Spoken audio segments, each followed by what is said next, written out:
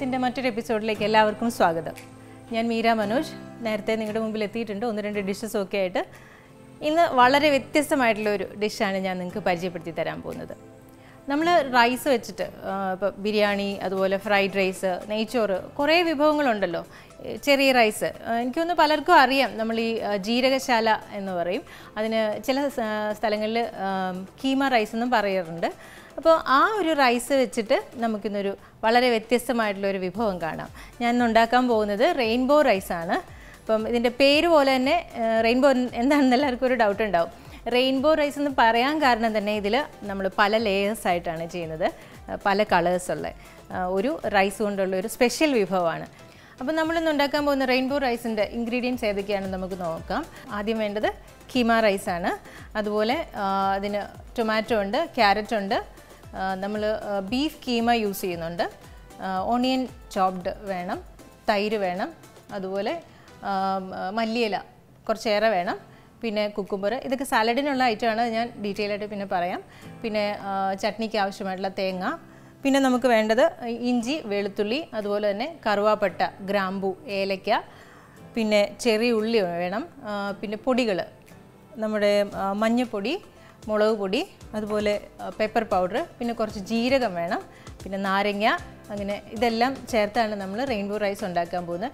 അപ്പോൾ നമുക്ക് rainbow റൈസിന്റെ first സ്റ്റെപ്പിലേക്ക് കടക്കാം. ആദ്യം നമുക്ക് ചെയ്യേണ്ടത് ഈ കീമ അരി ഒരു അരമണിക്കൂർ നന്നായിട്ട് കുതിർത്തെടുക്കണം. നന്നായിട്ട് കഴുകി വൃത്തിയാക്കിയ കീമ അരിയാണ്. അത് ഞാൻ ഇവിടെ രണ്ട് ഗ്ലാസ്സാണ് എടുത്തിരിക്കുന്നത്. അത് നന്നായിട്ട് ഒരു മുപ്പത് മിനിറ്റ് വെള്ളത്തിൽ നല്ലപോലെ കുതിർന്ന് വരണം. അതിനുശേഷം ആ വെള്ളം ഊറ്റി കളഞ്ഞിട്ടാണ് നമ്മൾ ഈ റൈസ് പ്രിപ്പയർ ചെയ്യുന്നത്. അപ്പോൾ ഇതിന് രണ്ട് ഗ്ലാസ് അരിക്ക് നമ്മൾ എടുക്കുന്നത് അതിന്റെ ഡബിൾ നാല് ഗ്ലാസ് തിളച്ച വെള്ളമായിരിക്കണം. അപ്പോൾ ആദ്യത്തെ സ്റ്റെപ്പ് നമുക്ക് ഈ അരി വേവിച്ചെടുക്കാം. അതിൽ ഞാൻ ഇന്ന് പ്ലാൻ ചെയ്തിരിക്കുന്നത് ടൊമാറ്റോയും ക്യാരറ്റും കൂടെ ചേർന്നിട്ട് ഒരു ടൊമാറ്റോ ക്യാരറ്റ് റൈസാണ്. ഒരു ലെയറിൽ ഞാൻ യൂസ് ചെയ്യാൻ പോകുന്നത്. മറ്റേ ലെയറിൽ പ്യുവർ ആയിട്ടുള്ള വൈറ്റ് റൈസ് വൈറ്റ് റൈസ് വേവിച്ച് ആ ഒരു ലെയറാണ് അടുത്തത്. അപ്പോൾ ഈ രണ്ട് ലെയർ റൈസ് നമുക്ക് ആദ്യം പ്രിപ്പയർ ചെയ്ത് വെക്കാം. അപ്പോൾ അതെങ്ങനെയാണ്? അതിന്റെ ഫസ്റ്റ് സ്റ്റെപ്പ് എങ്ങനെയാണെന്നൊന്ന് കാണാം.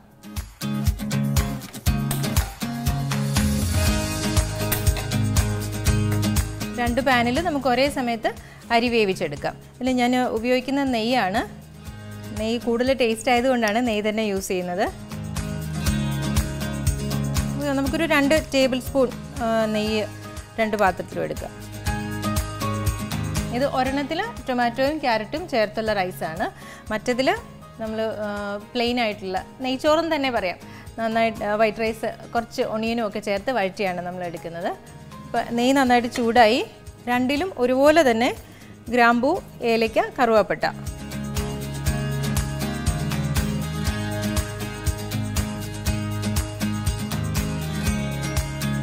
ഏലയ്ക്ക ഇട്ടു ഗ്രാമ്പൂ ഇട്ടു ഇനി ഇതിലേക്ക് കറുവാപ്പട്ട ചെറിയ പീസസ് ആക്കിയത്.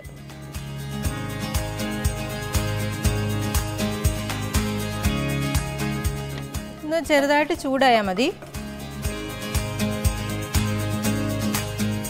ഇത് രണ്ടും റൈസ് രണ്ടും ഒരേ സമയം പ്രിപ്പയർ ചെയ്യാൻ ബുദ്ധിമുട്ടുണ്ടെങ്കിൽ ഒരെണ്ണം ചെയ്ത് കഴിഞ്ഞിട്ട് മതി കേട്ടോ.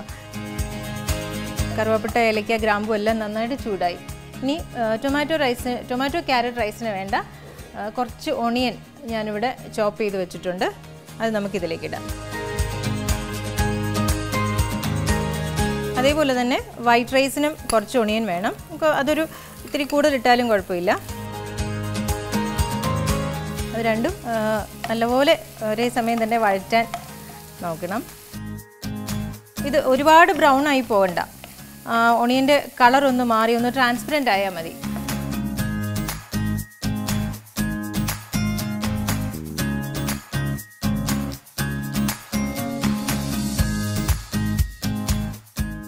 ഇത് നമ്മൾ ചെറിയ ഫ്ലെയിമിലാണ് ചെയ്യുന്നത്. ഒട്ടും തീ കൂടാനേ പാടില്ല.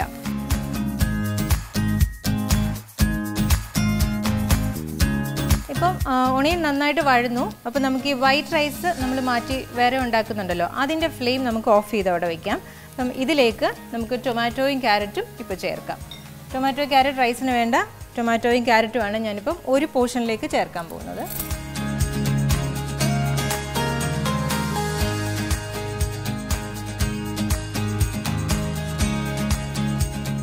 ടൊമാറ്റോയും ക്യാരറ്റ് നന്നായിട്ട് ഗ്രേറ്റ് ചെയ്തതും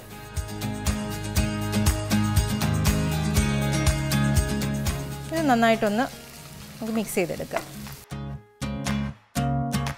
ഇതൊന്ന് ഒന്ന് വഴന്ന് വന്നാൽ മതി. ഒരുപാട് കുക്ക്ഡ് ആവണ്ട. നമ്മളിപ്പോൾ തന്നെ ഇതിലേക്ക് രണ്ടിലേക്കും ഒരേപോലെ തന്നെ റൈസ് ഇട്ട് ഇതെല്ലാം കൂടി ചേർത്തിട്ടാണ് വേവിക്കുന്നത്. അതുകൊണ്ട് ഇതൊന്ന് ചൂടായാൽ മാത്രം മതി. ഇപ്പം ഞാൻ ഈ ഫ്ലെയിമും ഓഫാക്കിയിട്ട് റൈസ് ഇടുവാണ്. ഈക്വലി ഇത് ഡിവൈഡ് ചെയ്ത് റൈസ് ഇതിലേക്ക് ഇടാം.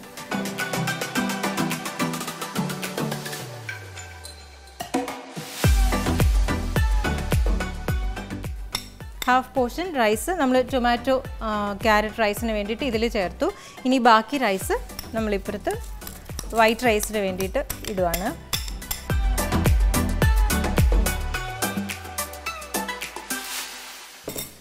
ഇത് നന്നായിട്ടൊന്ന് നമുക്ക് ഈ ഉള്ള തീ ആ ഒരു ചൂടുണ്ടല്ലോ ആ ചൂടിൽ ഒന്നുകൂടെ ഒന്ന് ഇളക്കി വെച്ചാൽ മതി ഇത്.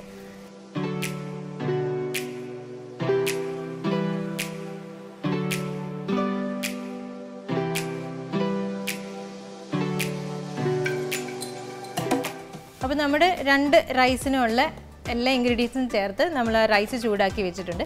ഇനി ഇതിൽ ഈക്വൽ എമൗണ്ട് രണ്ടിലും ഒരേപോലെ തന്നെ രണ്ട് ഗ്ലാസ് വെള്ളം തിളച്ച വെള്ളമാണ് യൂസ് ചെയ്യുന്നത്. അപ്പോൾ പെട്ടെന്ന് അരി വെന്ത് കിട്ടും. അതിന് വേണ്ടിയിട്ട് നമുക്ക് വെള്ളം ഒന്ന് തിളപ്പിച്ചെടുക്കാം. നമ്മൾ എപ്പോഴും ശ്രദ്ധിക്കണം. നമ്മൾ അരി മെഷർ ചെയ്ത അതേ കപ്പിൽ തന്നെ വേണം വെള്ളം എടുക്കാൻ. അപ്പം നമുക്ക് ഇതിൽ നാല് ഗ്ലാസ് വെള്ളം നമുക്ക് അളന്ന് ഇതിലേക്ക് എടുത്തിട്ട് തിളപ്പിക്കാൻ വയ്ക്കാം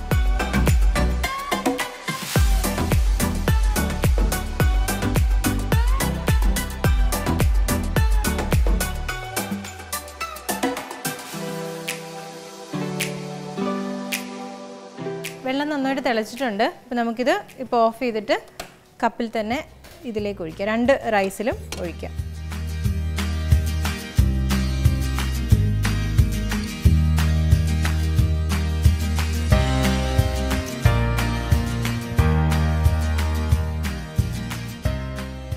നമ്മൾ ഒരേപോലെ തന്നെ വെള്ളം രണ്ടിലും ഒഴിച്ചു. ഇനിയിപ്പോൾ ഇത് ആവശ്യത്തിന് ഉപ്പ് ചേർത്തിട്ട് നമുക്ക് ഒന്ന് വേവിക്കാൻ വയ്ക്കാം ഇപ്പം നമുക്ക് രണ്ട് വീണ്ടും ഓൺ ചെയ്തിട്ട് രണ്ട് റൈസും ഒന്ന് അടച്ചു വെച്ചിട്ട് വേവിക്കണം. ആവശ്യത്തിന് ഉപ്പ് ചേർക്കണം.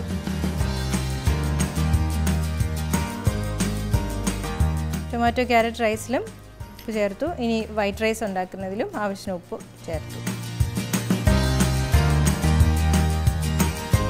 ഇത് നമുക്ക് രണ്ടും ഒന്ന് അടച്ചു വെച്ചിട്ട് ചെറിയ ഫ്ലെയിമിൽ വേവിച്ചെടുക്കാം. അതുവരെ നമുക്കൊന്ന് വെയിറ്റ് ചെയ്യാം.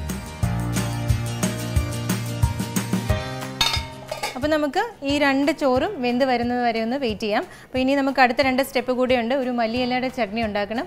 അതുപോലെ തന്നെ കീമയുടെ ഒരു ലെയറും കൂടെ നമുക്ക് പ്രിപ്പയർ ചെയ്തെടുക്കാനുണ്ട്. നമുക്ക് റൈസ് വെന്തൊന്ന് നോക്കാം. കറക്റ്റ് വെള്ളമെല്ലാം നന്നായിട്ട് വറ്റിയിട്ടുണ്ട്. അപ്പോൾ നമുക്ക് രണ്ടും ഇപ്പോൾ ഓഫ് ചെയ്യാം. ഓഫ് ചെയ്തിട്ട് അപ്പം തന്നെ നമ്മളിത് മാറ്റണ്ട. ഒരു രണ്ട് മിനിറ്റ് മൂന്ന് മിനിറ്റ് എങ്കിലും ഇത് അങ്ങനെ തന്നെ ആ ചൂടിലിരുന്നൊന്ന് സെറ്റ് ആവണം അപ്പോൾ ഈ ഇത് നമുക്കൊന്ന് ഫ്ലെയിമിൽ നിന്ന് ഓഫ് ചെയ്ത് മാറ്റി വയ്ക്കാം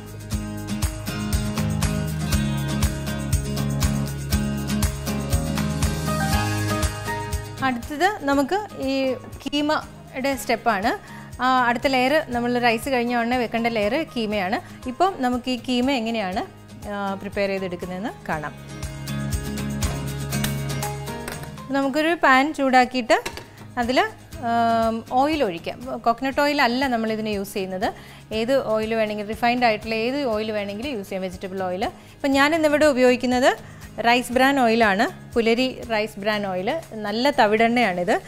ഇതിന് ഇത് നമുക്കൊരു ഒരു രണ്ട് ടേബിൾ സ്പൂൺ ഇതിൽ യൂസ് ചെയ്യാം.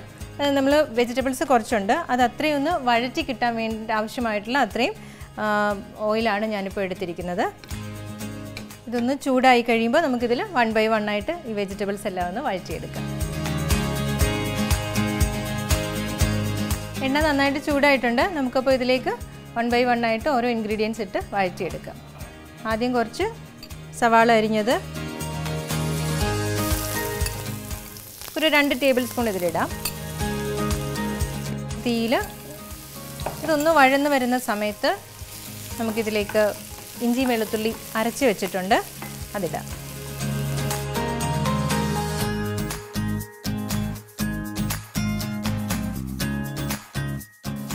വെളുത്തുള്ളി അരച്ചതാണ്.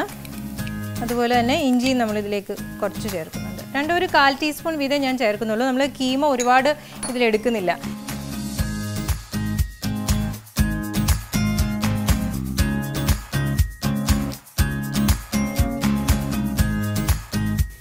ഇഞ്ചി വെളുത്തുള്ളി നന്നായിട്ട് ഒന്ന് വഴന്നിട്ടുണ്ട്.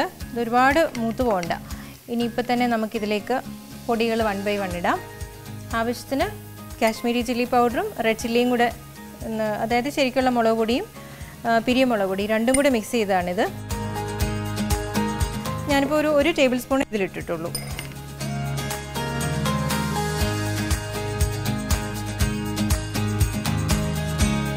മുളക് പൊടി നന്നായിട്ടൊന്ന് വഴക്കും വഴന്ന് വരുമ്പോഴേക്ക് അതിലേക്ക് കുറച്ച് മഞ്ഞൾപ്പൊടി അതുപോലെ അത്യാവശ്യത്തിന് ഒരു ഒരു കുറച്ച് നേരിയ ക്വാണ്ടിറ്റി ഞാൻ പെപ്പർ പൗഡർ ആഡ് ചെയ്തിട്ടുണ്ട്. ഇനി ഒരു കാൽ ടീസ്പൂൺ ജീരകം.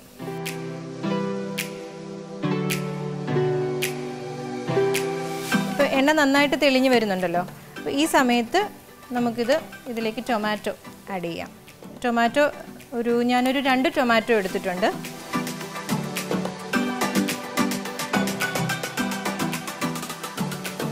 ടൊമാറ്റോ നന്നായിട്ട് ഇതിൽ ഒന്ന് വഴന്ന് വരണം. നമുക്കൊന്ന് അടച്ച് വെച്ച് കുറച്ച് നേരം വേവിക്കുക. ഇത് വെള്ളമൊന്നും ചേർക്കുന്നില്ല. ടൊമാറ്റോയിൽ തന്നെ നന്നായിട്ട് വെള്ളം ഇറങ്ങും.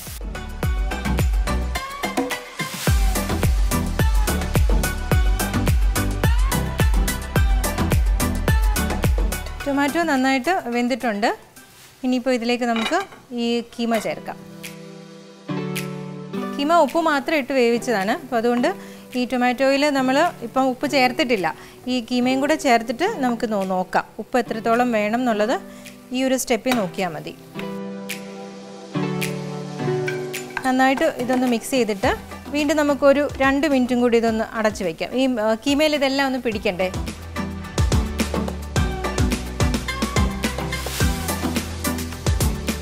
ഞാനൊരു രണ്ട് മിനിറ്റ് അടച്ചു വയ്ക്കുകയാണ് ഇപ്പോൾ ചെറിയ ഫ്ലെയിമിൽ ഇത് കിടന്നാൽ മതി. അപ്പോൾ അതുവരെ ഒന്ന് വെയിറ്റ് ചെയ്യാം. നമുക്ക് കീമ ഒന്ന് മിക്സ് ആയി ഒന്ന് നോക്കാം. അപ്പോൾ അതിന്റെ ആ ടൊമാറ്റോയിൽ ഉണ്ടായിരുന്ന ആ വെള്ളമൊക്കെ നന്നായിട്ട് വലിഞ്ഞു. ഇതിപ്പം എല്ലാം നന്നായിട്ട് പിടിച്ചിട്ടുണ്ട്. അപ്പോൾ ഇതിന്റെ ഉപ്പൊന്ന് നോക്കാം നമുക്ക്.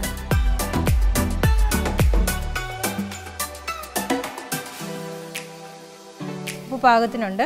അപ്പോൾ ഇനിയും എക്സ്ട്രാ ഉപ്പ് ചേർക്കേണ്ട കാര്യമില്ല. നമുക്കിത് ഓഫ് ചെയ്ത് വയ്ക്കാം അപ്പോൾ റിബൺ റൈസിന്റെ രണ്ട് സ്റ്റെപ്പും ആയി കഴിഞ്ഞു ഇനി നമുക്ക് ഒരു സ്റ്റെപ്പും കൂടെ മാത്രമേ ഉള്ളൂ. അത് നമുക്കൊരു കൊറിയാണ്ടർ ചട്നി തേങ്ങ എല്ലാം ചേർത്തിട്ട് നല്ലൊരു ചട്നി വേഗം അരച്ചെടുക്കാം. ചട്നിക്ക് വേണ്ട ആവശ്യമായിട്ടുള്ള സാധനങ്ങൾ ഏതൊക്കെയാണ് ഞാൻ പറയാം. തേങ്ങ ചിരണ്ടിയത് വേണം. അതുപോലെ മല്ലിയില അടത്തിയത് അതിന്റെ തണ്ട് ഒട്ടും ഇല്ലാതെ തന്നെ മല്ലിയില നന്നായിട്ട് കഴുകി വൃത്തിയാക്കി അടത്തിയെടുത്തത് വേണം. അതുപോലെ കുറച്ച് ഇഞ്ചി ഒരു ചെറിയ പീസ് ഇഞ്ചി മതി. കുറച്ച് ചുവന്നുള്ളി അതിനാവശ്യമുണ്ട്. അതുപോലെ നമ്മളൊരു പൊടിക്ക് അതിൽ ജീരകം ഇടുന്നുണ്ട്. ഒരു പ്രത്യേക ഫ്ലേവർ കിട്ടാൻ വേണ്ടിയിട്ടാണ് ജീരകം ഇടുന്നത്. പിന്നെ അല്പം നാരങ്ങാ നീര് പച്ചമുളക്. ഇത്രയാണ് നമ്മുടെ ചട്നിക്ക് ആവശ്യമായിട്ടുള്ള സാധനങ്ങൾ. അപ്പോൾ നമുക്ക് ചട്നി എങ്ങനെയാണ് പ്രിപ്പയർ ചെയ്യുന്നത് നോക്കാം. അപ്പോൾ നമുക്ക് ചട്നിക്ക് ആവശ്യമായിട്ടുള്ള സാധനങ്ങൾ ഇതിലേക്ക് ഓരോന്നായിട്ട് അരച്ചെടുക്കാം. ആദ്യം നമുക്ക് പച്ചമുളക് ഇടാം. പച്ചമുളക് നമുക്ക് കുറച്ച് കൂടുതൽ അരയാനുണ്ടല്ലോ. അപ്പോൾ അതുകൊണ്ട് പച്ചമുളക് നമുക്കിതിലേക്കൊന്ന് മുറിച്ചിടാം.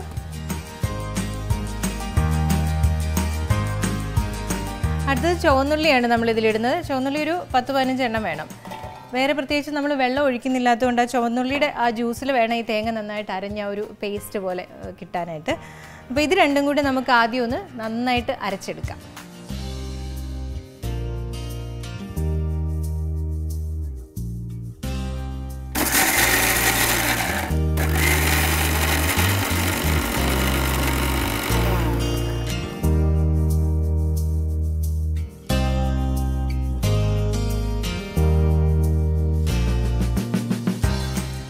ചുവന്നുള്ളിയും പച്ചമുളകും നമ്മൾ നന്നായിട്ട് അരച്ചെടുത്തു. അതിലേക്ക് നമുക്കൊരു ഒരു ചെറിയ പോ ഒരു കുഞ്ഞു കഷ്ണം ഇഞ്ചി ഇടാം. ഒരു ചെറിയ പീസ് ഇഞ്ചി ഇത് ഓൾറെഡി ചതച്ച് വെച്ചിരിക്കുന്ന ഇഞ്ചിയാണ്. അപ്പോൾ അതും കൂടെ ഞാനിതിലേക്ക് ഇട്ടു. ഇനി ഒരു പൊടി ജീരകം. ഇനി തേങ്ങയും മല്ലിയും ഒന്നിച്ചിടാം.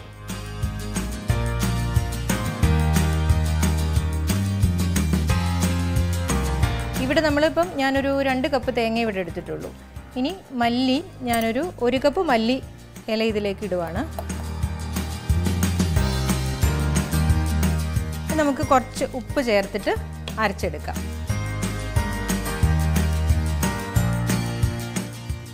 നമുക്ക് വെള്ളം ഒന്നും ചേർക്കാതെ തന്നെ ഇതൊന്ന് വീണ്ടും അരച്ചെടുക്കാം.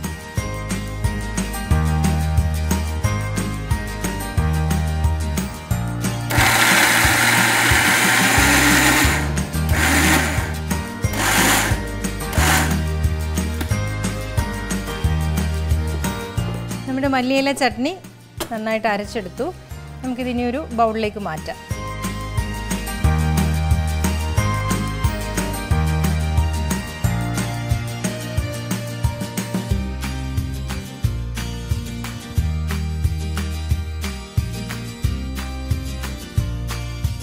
ചട്നി റെഡി ആയിട്ടുണ്ട്. ഇനി നമുക്ക് ഇതിൽ കുറച്ച് നാരങ്ങ നീര് പിഴിഞ്ഞൊഴിക്കാം. നാരങ്ങയുടെ ഒരു ചെറിയ പോർഷൻ മതി.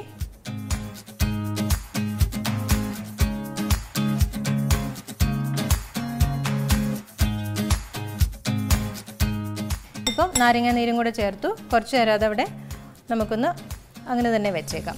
അപ്പോൾ നമ്മുടെ റെയിൻബോ റൈസിന്റെ എല്ലാ സ്റ്റെപ്സും കഴിഞ്ഞിരിക്കുകയാണ്. ഇനിയിപ്പോൾ നമുക്കതൊന്ന് റെയിൻബോ സ്റ്റൈലിൽ എങ്ങനെയാണ് ആക്കിയെടുക്കുന്നതെന്ന് നമുക്കൊന്ന് കാണാം. അപ്പോൾ നമുക്ക് റൈസ് രണ്ടും ഒന്ന് നോക്കാം. നമ്മുടെ ടൊമാറ്റോ ക്യാരറ്റ് റൈസ് നമുക്കിപ്പോൾ ഒന്ന് ഉപ്പൊക്കെ ഉണ്ടോ എന്ന് നോക്കണ്ടേ? അതുപോലെ കുറച്ച് നമുക്ക് ലൈം ഡ്രോപ്സും കൂടി ഇതിലേക്ക് ചേർക്കാം. നമ്മുടെ വൈറ്റ് റൈസും നമുക്ക് നോക്കാം. വൈറ്റ് റൈസ് നന്നായിട്ട് വെന്ത് കിട്ടിയിട്ടുണ്ട്. നമുക്ക് രണ്ട് റൈസിലേക്കും കുറച്ച് ലൈം ഡ്രോപ്സ് ഇപ്പോൾ ചേർക്കാം.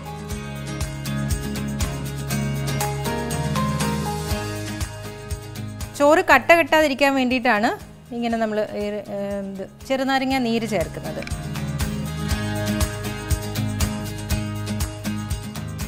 അപ്പോൾ എല്ലാ സ്റ്റെപ്സും മനസ്സിലായില്ലേ? നമ്മുടെ റൈസ് രണ്ട് നമ്മൾ റെഡിയാക്കി. കീമ റെഡി ആയിട്ടുണ്ട് കൊറിയാന്റെ ചട്നി റെഡി. അപ്പോൾ നമുക്കിനി ഇതൊന്ന് ഒരു ബൗളിലേക്ക് ലെയർ ചെയ്തെടുക്കാം. അപ്പോൾ ഇതിന്റെ ഏറ്റവും താഴത്തെ ലെയറിൽ നമുക്ക് വൈറ്റ് റൈസ് സെറ്റ് ചെയ്യാം.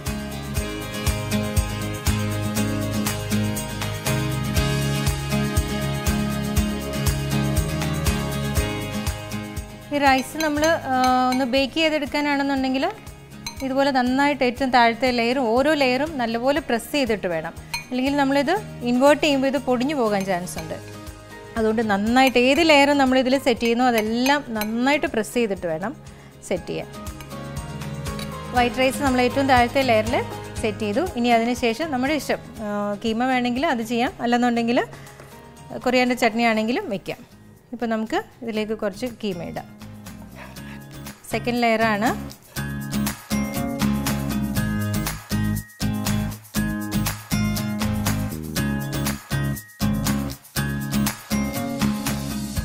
കീമ ഇട്ടിട്ട് നന്നായിട്ട് അതും ഒന്ന് പ്രസ് ചെയ്ത് അതിനോട് ചേർത്ത് വയ്ക്കണം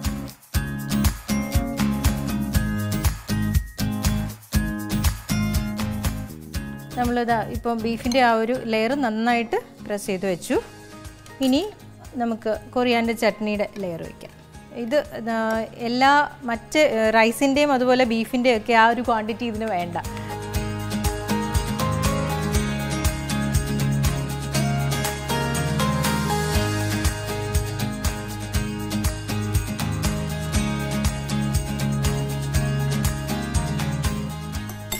മൂന്ന് ലെയറും റെഡിയാക്കി. ഇനി ലാസ്റ്റ് നമുക്ക് നമ്മുടെ ടൊമാറ്റോ ക്യാരറ്റ് റൈസ് ഇതിലേക്ക് വെക്കുകയാണ്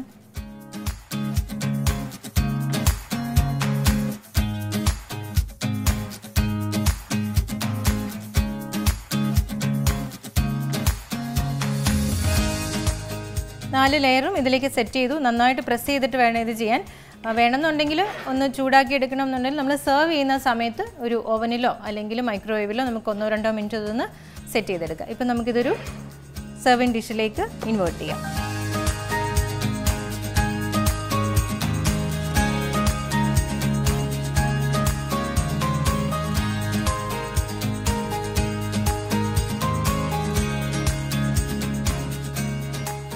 അപ്പോൾ നമ്മുടെ റെയിൻബോ റൈസ് റെഡി ആയിട്ടുണ്ട്. എല്ലാ ലേയേഴ്സും കാണാമല്ലോ അല്ലേ? നന്നായിട്ട് കാണാമല്ലോ. അതായത് നമ്മുടെ ടൊമാറ്റോ ക്യാരറ്റിന്റെ കളറ് കാണാം. അതുപോലെ കൊറിയാന്റെ ചട്നിയുണ്ട് ബീഫിന്റെ കീമയുടെ ലെയർ കാണാം. അപ്പോൾ നമുക്ക് റെയിൻബോ റൈസിന്റെ കൂടെ ഒരു സാധാരണ സാലഡ് നമുക്ക് ഞാനിവിടെ കുക്കുംബറും അതുപോലെ ക്യാരറ്റും കൊണ്ടുവന്നിട്ടുണ്ട്. കുറച്ച് തൈരും. അപ്പോൾ ഇതെല്ലാം കൂടെ മിക്സ് ചെയ്തിട്ട് ഒരു ഓർഡിനറി സാലഡ് നമുക്കതിന്റെ കൂടെ ഡിസ്പ്ലേയിൽ വയ്ക്കാം ക്യാരറ്റ് നന്നായിട്ട് ഗ്രേറ്റ് ചെയ്തതാണ്.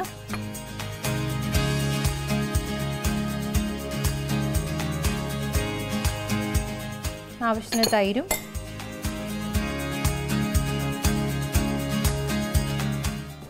ഉപ്പ് ചേർക്കണം.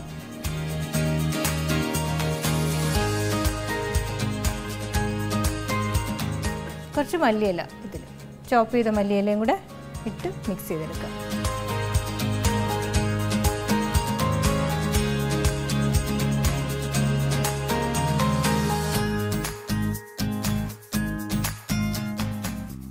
അപ്പോൾ ഇതിനോട് ഇനി പപ്പടമൊക്കെ വേണമെന്നുണ്ടെങ്കിൽ അതുപോലെ പിക്കിളോ എന്തെങ്കിലുമൊക്കെ നമുക്ക് എക്സ്ട്രാ ഇതിനകത്ത് ഉപയോഗിക്കുന്നതാണ്. അപ്പോൾ എല്ലാവർക്കും മനസ്സിലായല്ലോ റെയിൻബോ റൈസ് എത്ര സിമ്പിളായിട്ട് പ്രിപ്പയർ ചെയ്തെടുക്കാവുന്ന ഒരു ഡിഷാണെന്ന് അപ്പോൾ ഞാനിനി വീണ്ടും രുചി വിസ്മയത്തിൽ വേറൊരു വെറൈറ്റി വിഭവമായി നിങ്ങളുടെ മുമ്പിൽ തീർച്ചയായിട്ടും എത്തുന്നതാണ്. അതുവരേക്കും ബൈ